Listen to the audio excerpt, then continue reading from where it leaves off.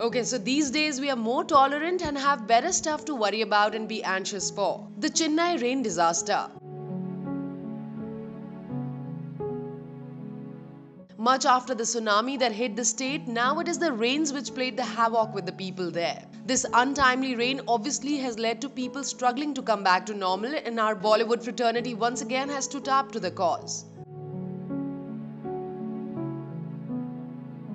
With rumors of King Khan and his Dilwale team having contributed a crore of rupees to the state as flood relief fund, it got confirmed with the Red Chillies Entertainment letterhead confirmation, which is a letter to the Chennai state government from Shah Rukh Khan and the Dilwale team. We do know that SRK has a large heart and gives his near ones with the best, but this one sure takes the cake. Aren't we proud of this Chennai Express star who's making sure he was not a Chennai superstar for nothing? Going good, dude.